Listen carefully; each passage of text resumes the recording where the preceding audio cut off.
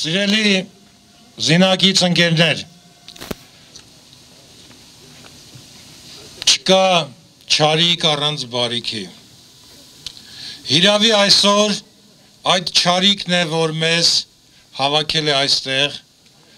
իմի է բերել եւ վաղուց միմյանց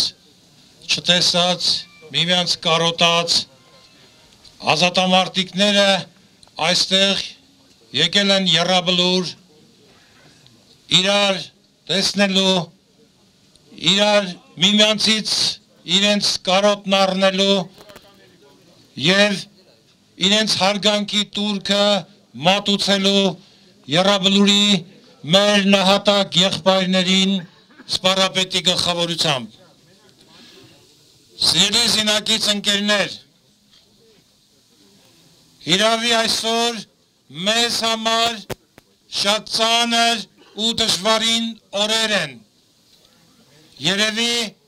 ավելի ծանր, քան այն օրերին, երբ որ ազատամարտիկները իրենց արյան կանչով զենք վերցրեցին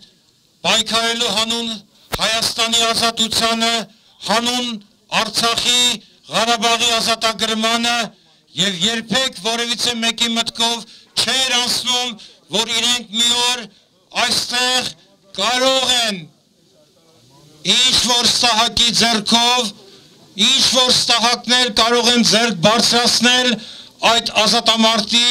հերոսների վրա։ Եթե ճակատագրի բերումով նրանք ողջ են մնացել եւ այսօր երաբլուրում չէ, Դա չի նշանակում, որ որևիցե մեկը իրավունք ունի ձեռք բարձրացնելու հայոց սրբոց սրբության սրբոցի վրա։ Այստեղ իմ զինագից ընկերները իրենց խոսքում անդրադարձան դրան, որը խիստ ու մեծ վրթոմունք է առաջացել նրանց մոտ եւ այդ վրթոմունքն է որ այստեղ երաբրում է հավաքել ձեզ Եվ բնականաբար մենք պիտի դրանից հետևություններ անենք։ Ոչ միայն նրա համար, որ նրանք ձեռք են բարձրացրել մեր ազատամարտի հերոսների, Ռազմիկի,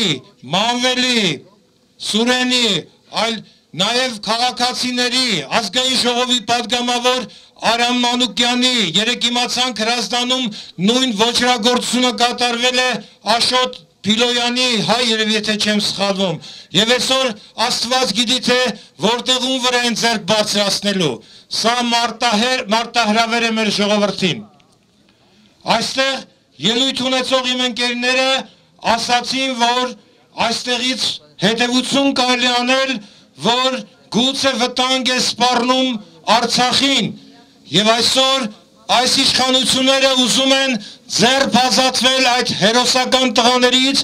որոնք թույլ չեն տալու, որ Արցախին վտանգ սպառնա, որոնք թույլ չեն տալու, որ նրանք իրենց թեթև ձեռքով կարողանան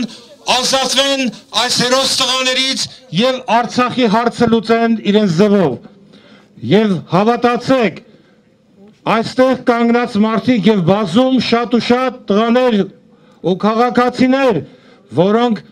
գուցե ազատամարտի մասնակից չեն, բայց այս հայրենիքի զավակն են ու զինվորն են, որ պիտի հասկանան, որ եկել է ժամը հատուցման, որ եկել է ժամը, որ պետք է ոտքի կանգնել եւ թույլ չտալ այդ ստահակներին, որոնք այսօր պղծում են մեր հայրենիքը։ Սիրելի զինակից ընկերներ,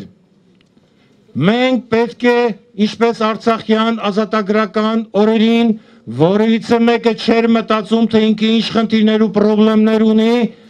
եւ ինքը թողած իր տունը, ընտանիքը, երեխաներին չէր մտածում, թե սոված է թե կուշտ, գնում էր հայրենիքը պաշտպանելու։ Այսօր պետք է գիտակցեք, որ նույն վտանգի մեջ է մեր հայրենիքը։ Այսօր օր-օրի վրա արնակամ է լնում մեր հայրենիքը, դատարկվում են մեր գյուղերն ու շեները, Եվ ընդհանրապես ազատամարտիկները ինչ են ասում։ Նրանք այսօր ոտքի են կանգնել դադարեցնելու Շար Ազնավուրի խոսքերով ասած այն արյունահոսությունը, որ այսօր կատարվում է, այն սպիտակ եղերնը, որ կատարում է մեր ժողովրդի նկատմամբ։ Եվ այսօր մենք պիտի թույլ չտանք, որ դատարկվեն մեր գյուղերն ու շները։ Եվ գնալով օր օրի վրա ահագնանում է այս վտանգը։ Եվ այս դեպքերը, որ նրանք կարող են ձեռք բարձրացնել ազատամարտիկների վրա, բնականաբար շատ ու շատ հայ քաղաքացիների մոտ վախի տագնապ է առաջացնում եւ նրանք մտածում են հայրենիքը լքելու մասին որովհետեւ եթե նրանք մտածում են որ ազատամարտիկը որը այսօր պաշտպանված չէ որը երեք պատրաստ էր իր հայրենիքի համար զոհվելու եւ նրա վրա են ձեռք բարձրացնում ուրեմն ինքը անպաշտպան ու անպաշտպան եւ ինքը գիտի որ արդարադատություն չկա Եվ սա վաղուց է սկսվել։ Դեռ հոկտեմբերի 27-ից Եվ սպանդի ենթարկվեց մեր ազգային շողովը, մեր սպարապետը, ազգային շողովի նախագանու պատգամավորները, և դրանք չպատշվեցին, Եվ դրանից հետո տեղի ունեցավ մարտի 1-ը, երբ օր ցերեկով Երևանի կենտրոնում գնդակահարվեցին հայ քաղաքացիներ։ Եվ նորից մնացին անպատիժ, այսօր նրանք բնականաբար ձեռք են բարձրացնում ազատամարտի հերոսների վրա եւ վաղը Աստված գիտի թե նրանք ինչքան հեռու են գնալու այդ իսկ պատճառով ես լրիվ համամիտ եմ իմ զինակից ընկերների մոտ ընկերների հետ որ ժամանակն է որ մենք կարողանանք այդ ձեռքը բռնել եթե իշխանությունները հետևություն չանեն եւ մի քանի օրերի ընթացքում չգտնեն եւ չպատժեն այն ստահակներին, որոնք ձեռք են բարձրացնում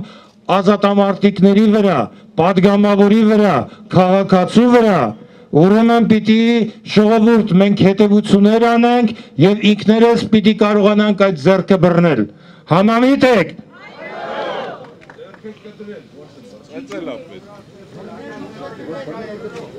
Սիրելի ժողովուրդ,